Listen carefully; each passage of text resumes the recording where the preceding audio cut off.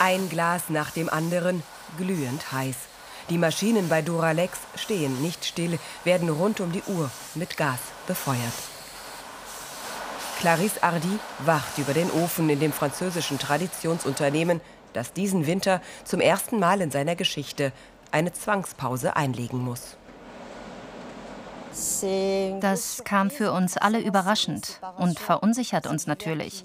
Wir können keine Gläser, keine Artikel mehr herstellen, aber bei den hohen Energiepreisen bleibt uns keine Wahl. Die Ausgaben für Energie sind von 3 auf 13 Millionen Euro gestiegen, machen inzwischen etwa die Hälfte des Umsatzes aus. Von der Ofenmeisterin erfahre ich, dass die Firma bereits den Verbrauch runtergefahren hat, doch die Maßnahmen reichen nicht. Spätestens, wenn man hier steht und diese enorme Hitze hautnah miterlebt, wird klar, wie viel Energie hier benötigt wird und das rund um die Uhr. Kosten, die sich das Unternehmen nicht mehr leisten kann und deshalb stehen diese Bänder ab November still. Von 90 Millionen Gläsern im Jahr mit einem Mal auf Null. Nur der Schmelzofen an sich bleibt dann noch in Betrieb bei einer Temperatur von 1300 Grad. Die Masse ist zu groß, die sich im Ofen befindet. Wenn wir ihn komplett abschalten, verfestigt sie sich, was den Tod des Ofens und der Fabrik bedeuten würde. Also müssen wir ihn auf einer Minimaltemperatur halten. Doch dafür wird längst nicht die komplette Belegschaft gebraucht. Dylan Chausson und die meisten seiner 250 Kollegen werden im Winter pausieren müssen und weniger Gehalt bekommen, Kurzarbeit bis Anfang April. Wir haben unsere Häuser, unsere Familien. Das Problem ist, dass wir nur 95 Prozent unseres Gehalts bekommen. Gleichzeitig wird das Leben teurer. Der Sprit, alles andere. Und die 5 Prozent Gehalt, die fehlen, das wird sich bei mir und meinen Kollegen schon auswirken. Duralex, das Werk in der Nähe von Orléans, ist kein Einzelfall. Glashersteller, Stahlwerke, Papier- und Aluminiumfabriken. Im ganzen Land müssen Betriebe ebenfalls ihre Produktion drosseln. Dabei befindet sich Frankreichs Industrie ohnehin schon im Sinkflug durch Abwanderung, Pleiten, verpasste Innovation. Und so wächst die Angst um die Arbeitsplätze.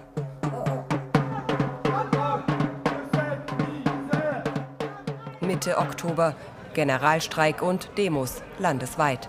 In Orléans reihen sich Angestellte von Duralex in den Protestzug ein. Sie wollen ein Zeichen setzen. Besser wäre es, uns weiter voll zu bezahlen.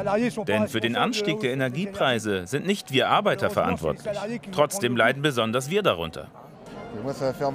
Ich arbeite seit 20 Jahren für Duralex.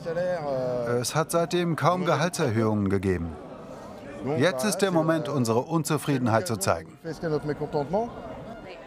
Sie fordern, Firmenchefs und Aktionäre mehr in die Pflicht zu nehmen, dass der Staat immer mehr öffentliches Geld in die Unternehmen steckt. Erst in der Corona- und nun in der Energiekrise sehen sie mit Skepsis, denn die Arbeiter würden davon nicht profitieren.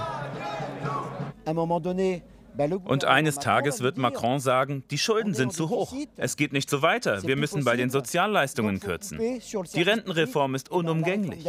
Das ist die Logik der Regierung, der Weg, auf dem wir uns befinden. Sie helfen den Reichen, immer reicher zu werden. Und wir, die den Reichtum erarbeiten, werden immer ärmer. Deshalb nennen wir Gewerkschaftler Macron auch Präsident der Reichen, der Ultrareichen sogar.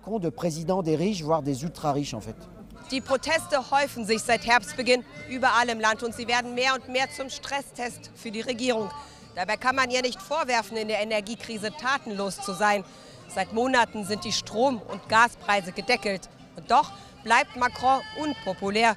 Das sieht man an den Streiks in den Raffinerien, das sieht man an den Demos gegen die anstehenden Sozialreformen und vor allem gegen die steigenden Kosten. Viele Französinnen und Franzosen haben Sorge, im Alltag einfach nicht mehr über die Runden zu kommen. Zwar hat Frankreich mit 6 Prozent eine der niedrigsten Inflationsraten in Europa, doch die Menschen verdienen im Durchschnitt auch weniger als etwa die deutschen Nachbarn. Wir verlassen Orléans und fahren aufs Land. Ein Dorf, 700 Einwohner. In wenigen Stunden schließt die Backstube von Kevin und Soline Robion. Sie geben auf. Ganz. Ein Baguette bitte. Viele Stammkunden kommen am Nachmittag vorbei, um sich von dem Bäcker zu verabschieden. Sie können die Entscheidung nachvollziehen, wissen, dass sich sein Geschäft kaum noch lohnt. Also dann, schönen Abend euch. Wir arbeiten in der gleichen Branche. Ich weiß, wie schwer das ist. Sind Sie Bäckerin? Nein, Konditorin. In einem größeren Betrieb. Aber uns allen steht das Wasser bis zum Hals. Leider den Kleinen noch mehr als den Großen. Das Ehepaar müsste Schulden aufnehmen, um den Betrieb weiterzuführen. Ein Risiko, das sie nicht eingehen wollen, gerade jetzt in unsicheren Zeiten, erzählt er mir. Es sei kaum abzusehen, wie sich die Energiepreise entwickeln. Letztes Jahr haben wir 1200 bis 1400 Euro im Monat bezahlt. Jetzt liegen wir bei 3000, 4000. Das geht einfach nicht. Hinzu kommen die gestiegenen Preise für die Zutaten. Die Kosten können wir nicht auf den Brotpreis umlegen. Die Kunden haben schließlich auch kaum noch was in ihrem Geldbeutel. Und so sorgt sich Kevin Robion auch um das Handwerk.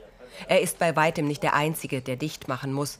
9000 Firmen haben allein in diesem Sommer Insolvenz angemeldet, die meisten von ihnen Kleinstunternehmen. Wer wird das Wissen weitergeben? Unser Baguette ist uns heilig in Frankreich.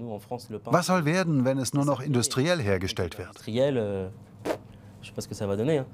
Wenn das so weitergeht, wird es das Handwerk und die kleinen Verkäufer bald nicht mehr geben.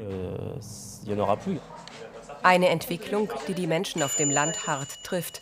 Denn mit den kleinen Läden schwinden auch die Jobs. Ich melde mich nun arbeitslos und hoffe, dass ich was anderes finde. So ist es halt. Hier fängt es an. Keiner weiß, was die Zukunft bringt. Es hat schon seinen Grund, dass im Land so viel gestreikt wird. Alles wird teurer. Ich weiß ja nicht, wie es bei euch in Deutschland ist, aber in Frankreich wird es immer katastrophaler. Na, vielleicht kommen wir irgendwann wieder, wenn Sie aufhören, uns das Leben so schwer zu machen. Nicht nur hier. Stellen Sie sich auf einen ungemütlichen Winter ein. Und die Sorge wächst, ob und wann sich das Land von seinen Krisen erholen kann. Frankreich bangt um seine Industrie und seine Arbeitsplätze. In Großbritannien fürchtet man sich vor der großen Kälte. Viele Britinnen und Briten frieren. Das Land steckt mitten in einer Energiekrise, vor allem seit dem Ukraine-Krieg, erzählt unser Kollege Andreas Stamm in diesem Video. In Ländern, die den Wohlstand kaum kennen, geht es um das tägliche Überleben, wächst die Angst zu verhungern. Dazu ein Video hier von meiner Kollegin Susanne von Lojewski. Sie war im Südsudan unterwegs, wo die Not immer größer wird. Lust auf noch mehr Filme? Dann abonniert unbedingt unseren Kanal.